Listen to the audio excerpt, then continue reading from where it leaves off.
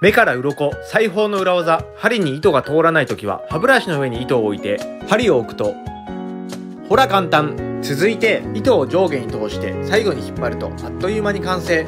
からの糸が短くて玉留めが難しい時は針穴の近くで糸を切る。巻きつけてから糸を針穴に通すだけ。最後に針を抜いて引っ張れば完成。20年知らなかった。暮らしの裏技折れたハンガーはペーパーホルダーとして再利用。意外と使いやすい。そしてキッチンペーパーのひらひらは水滴で止まる。からの油をこぼした時は片栗粉をかけてこねれば簡単にまとまる。シャワーヘッドの汚れは歯間ブラシを使うと細かい汚れも落ちる。ラストはツナ缶の油でオイルランプに代用できる。ポップコーンが食べにくい。そんな時はお手拭きカバーをつけて袋をカッターできる。これが食べやすいさらに乾燥防止からのスーツの収納に空き缶のタブを使えばすっきり収納できる。そして吹きこぼれする前にバターを塗ると吹きこぼれにくい。湯切りする時はシンクにざるを置くより鍋にかぶせる方が清潔。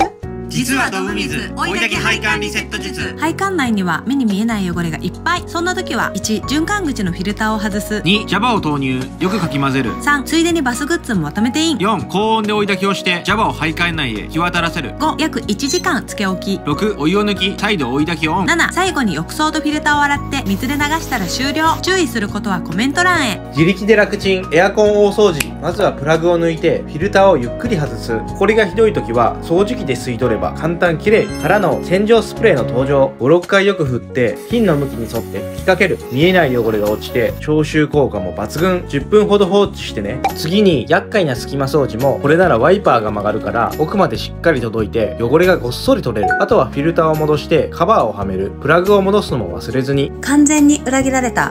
収納術。セーターをかけるときここ伸びがちじゃない？そんな時はハンガーにこうやってかければ伸びないし長持ちするよ。からのジーンズをかけるときこれだとすぐ落ちない。でもベルト紐に引っ掛けて裾をかければ伸びない落ちない一石二鳥。そしてワンピースの丈が長くて収納に困るときは裾に紙をかぶせてハンガーのピンチで留めればコンパクトになるよ。